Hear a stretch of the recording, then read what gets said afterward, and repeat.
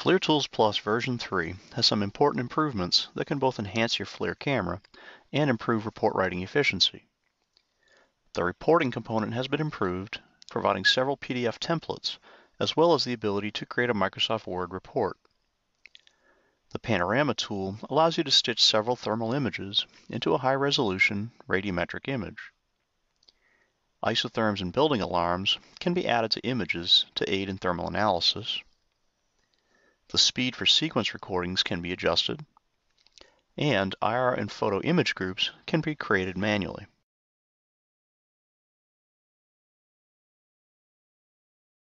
Some of the biggest improvements with FLIR Tools 3 relate to the reporting options.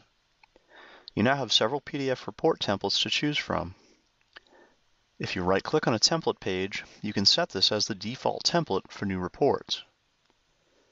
Now when you click Create Report, you can see that all the pages use the same template format.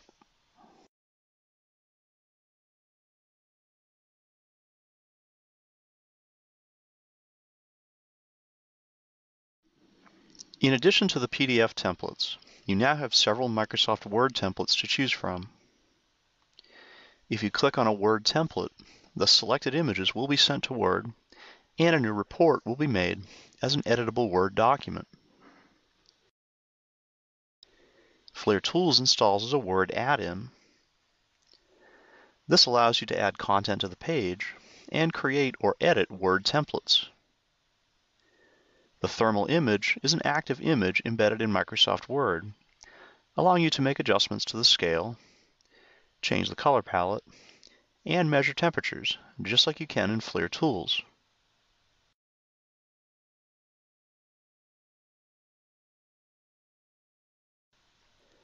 You can save the report as a standard Word document and open it later for further editing, which is a big improvement over the PDF report.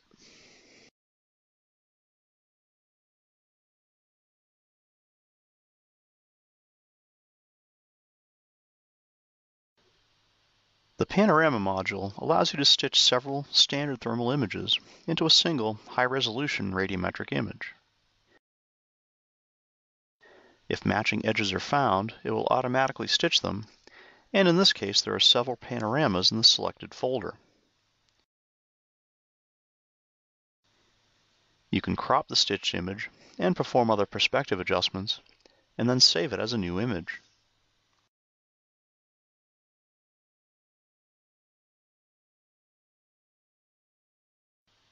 You can even combine images stored using MSX mode in the camera. The combined image is radiometric, just like a standard panorama image.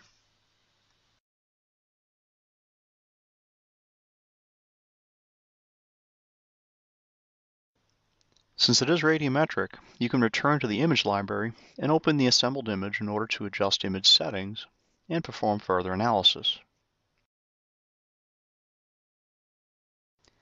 You can also include the image in a PDF report or a Word report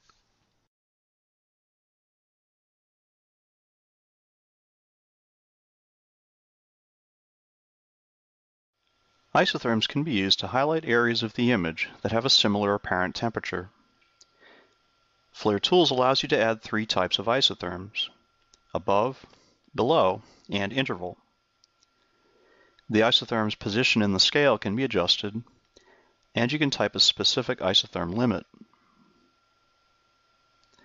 There's also a humidity alarm to help detect moisture problems,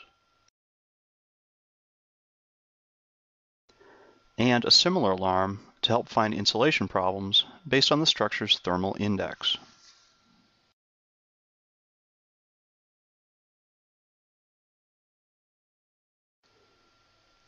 A new option in the recording screen allows you to set a recording interval. So, for example, you can record an image every 5 or 10 seconds instead of at the full frame rate.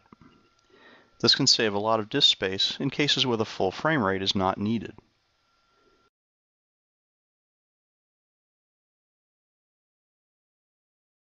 When the recording is complete, it will appear in the film strip below. You can now open the recording and play it back in real time, or navigate to specific frames.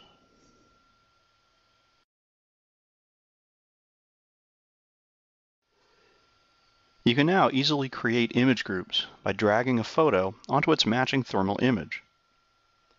This is beneficial for cameras that do not have the simultaneous mode and for users who prefer to use a separate digital camera for the reference photos. These images are from an i7, which does not have a built-in visual camera. Since the visual photos were copied to the same folder, we can easily create the groups, and the end result is the same as if we imported from a camera with simultaneous mode.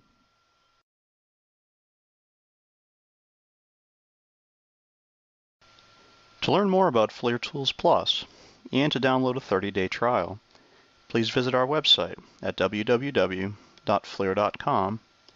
and navigate to the Thermography Products page.